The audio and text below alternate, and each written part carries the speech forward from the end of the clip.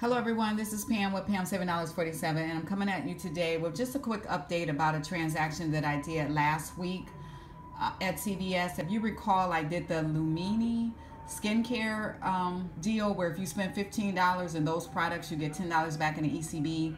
So if you recall, all of those products that I got, they were regularly priced at $121.95 and uh, they were on clearance and I ended up paying 18.45 but my ECB did not print. I was supposed to got back $10 and it didn't print.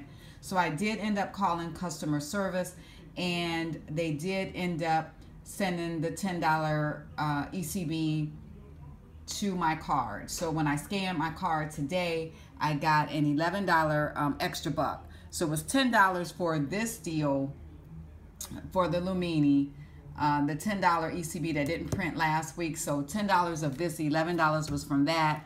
And then she gave me another dollar for that Revlon uh, coupon that I used. If you recall, on each of those Revlon transactions, it always reduced it down from the $4. So I think on this particular card, it reduced it down to $3.43, if I'm not mistaken.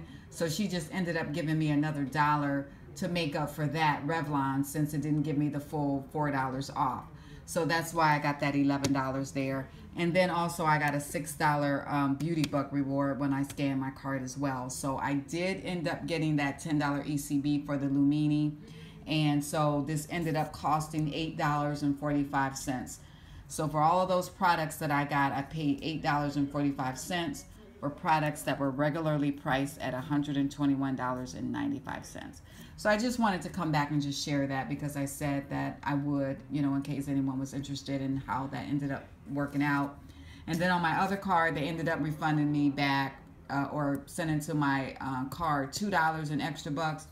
And that was from that Revlon on my second card. It didn't give me the full amount off. I think it was like a dollar and something that it, it deducted off. So they ended up sending $2 to my card to make up for that.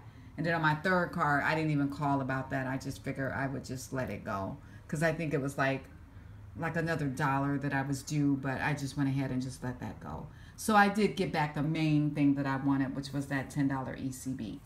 Okay, guys, so that was my update for last week's haul. Um, talk to you later.